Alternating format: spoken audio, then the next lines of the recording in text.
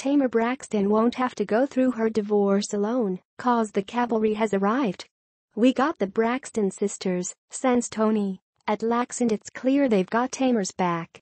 In fact, it's no coincidence they arrived days after she filed to divorce Vincent Herbert. The Braxton ladies hinted this is sort of a family tradition. Towanda told us they all have experience, unfortunately, in dealing with this kind of thing, so they're prepared to get Tamar through the tough times. An interesting tidbit here, the Braxtons deny Tamar's firing from the Real was the last straw for the couple, saying this one's been coming for a while. They also seem to be saying it's about time.